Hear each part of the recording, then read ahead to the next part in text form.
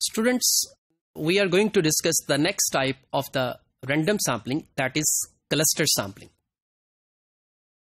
Like stratified sampling, we divide the whole population into groups. लेकिन stratified sampling में ये था कि जो स्ट्रेटम हम बनाते थे वो इंटरनली होमोजीनियस थे और एक्सटर्नली वो हेट्रोजीनियस थे जो क्लस्टर सैम्पलिंग में हम क्लस्टर्स बनाएँगे, पूरी पॉपुलेशन को हम क्लस्टर्स में डिवाइड करेंगे तो जो क्लस्टर्स हैं, वो एक्सटर्नली होमोजीनियस होते हैं और उनका इंटरनल स्ट्रक्चर जो है, वो डिफरेंट हो सकता है।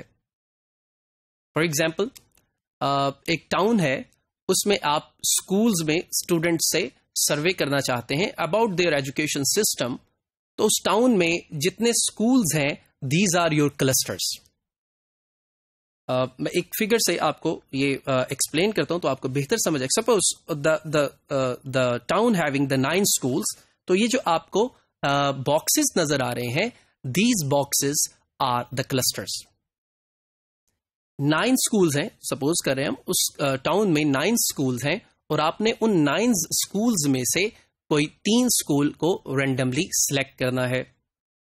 बिल्कुल इसी तरह, जिस तरह एक अगर सिटी है उसमें जो सॉफ्टवेयर हाउसेज हैं that software houses are your clusters but important thing is that when you will select the cluster randomly तो ये जो क्लस्टर्स हैं, जैसे पहली एग्ज़ाम्पल में स्कूल्स और दूसरी एग्ज़ाम्पल में सॉफ्टवेयर हाउसेज यही आपके सैंपलिंग यूनिट्स हैं. लेकिन ये ऑब्जर्वेशन यूनिट्स नहीं है.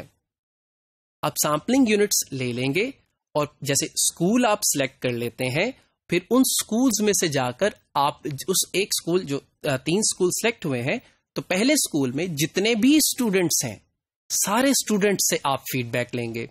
और इसी तरह तीसरे स्कूल में भी। मैं ये कहना चाह रहा हूँ कि आप स्कूल को सिलेक्ट करने के बाद जो उस क्लस्टर या उस स्कूल में जितने भी यूनिट्स ऑब्जर्वेशन यूनिट्स हैं, सारे ही ऑब्जर्वेशन यूनिट्स को स्टडी किया जाता है। ना कि उनमें से भी सैंपल ले लिया जाए। इसी तरह सॉफ्टवेयर हाउसेस जो होंगे जो सॉफ्टवेयर हाउस सिलेक्ट हो जाएँगे उन सॉफ्टवेयर हाउसेस में जितने भी इंजीनियर्स हैं उन सबसे आप फीडबैक या ऑब्जर्वेशन को कलेक्ट करेंगे।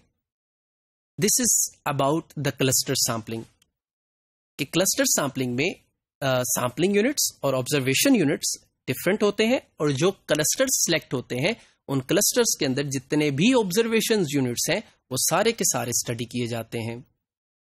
बट क्वेश्चन रेजेस कि क्या हम उन क्लस्टर्स में से सैंपल नहीं ले सकते? मतलब वो स्कूल है, उसमें बहुत सारे स्टूडेंट्स हैं, हमारे पास इतना रिसोर्स नहीं है कि हम सारे स्टूडेंट्स से ऑब्जर्वेशन लें तो क्या हम उस स्कूल में से सैंपल नहीं ले सकते? ले सकते हैं। जब आप उस स्कूल में से भी फर्दर सैंपल लेंगे तो इसको हम टू स्टेज क्लस्टर सैंपलिंग कहेंगे, या टू स्टेज सैंपलिंग भी कहते हैं। स्टूडेंट्स जब हम टू स्टेज सैंपलिंग करते हैं तो हर स्टेज पर सैंपलिंग यूनिट चेंज होता चला जाता है।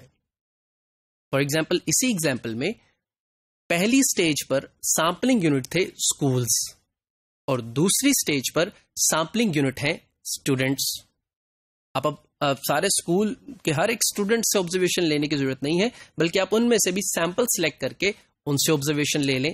That is two stage sampling और टू स्टेज क्लस्टर सैम्पलिंग इसी तरह सॉफ्टवेयर हाउसेस के केस में आप पहली स्टेज पर सॉफ्टवेयर हाउसेस ले लें और दूसरी स्टेज पर आप इंजीनियर्स हर एक सॉफ्टवेयर हाउस में जाकर इंजीनियर का भी सैंपल ले लें। और इस तरह से आप टू स्टेज सैंपलिंग कर रहे हैं। स्टूडेंट्स इसकी स्टेजेस टू से भी ज़्यादा हो सकती हैं। आप एक प्रोविंस में सॉफ्टवेयर हाउसेस पे काम कर रहे हैं तो पहली पहली जो स्टेज होगी, उसमें प्रोविंस में से आप सिटीज़ को सिलेक्ट कर लेते हैं, जो मैंने यहाँ पर शो भी किया है। दूसरी स्टेज पर सिटीज़ में से आप सॉफ्टवेयर हाउसेज यहाँ हम जब स्कूल्स की बात कर रहे हैं तो स्कूल्स को सिलेक्ट कर लेते हैं। और तीसरी स्टेज पर जाकर आप स्कूल्स में से स्टूडेंट्स को फर्दर सैम्पलिंग उन स्टूडेंट्स की सैम्पलिंग आप फर्दर कर लेते हैं। तो यहाँ पर आपके तीन स्टेजेस आ गए, जिन्हें हम मल्टी स्टेजेस भी कह सकते हैं या थ्री स्टेज सैम्पलिंग भी कह सकते हैं। हर स्टेज पर हमारा जो सैम्पलिंग यूनिट है, वो चेंज होता चला जाए तो इसको हम मल्टी स्टेज सैम्पलिंग कहते हैं।